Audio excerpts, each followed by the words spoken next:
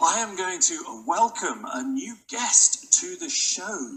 Uh, we're going to have live views again. We've got uh, still, uh, actually, we, well, I have just heard that we have now lost Dubai. You saw Dubai get darker and darker, and that was just the sun setting. Here we are with the live views from the solar telescope just behind me. It's what Slooh members going to watch every single day from now on. And uh, you can see there the sun is on the left. You can see the small black dot, which is just to the right of center of the sun. That is the tiny orb of Mercury. Mercury, you now know so many interesting and fascinating facts from Slooh astronomer Bob Berman. You'll be able to tell all your friends. Now, you may be asking yourself, what is that large round thing to the right of the sun.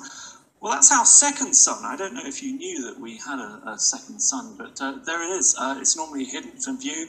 Uh, NASA and other organizations, they usually hide that stuff away from us. They don't tell us the truth. But you know, there it is. It's true.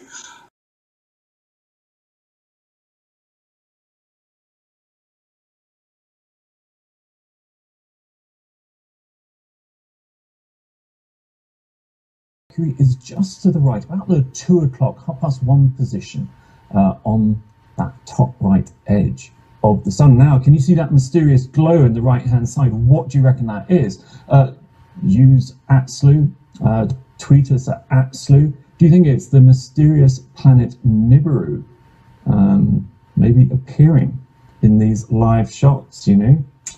So we don't cover stuff up like NASA does. Uh, anyway.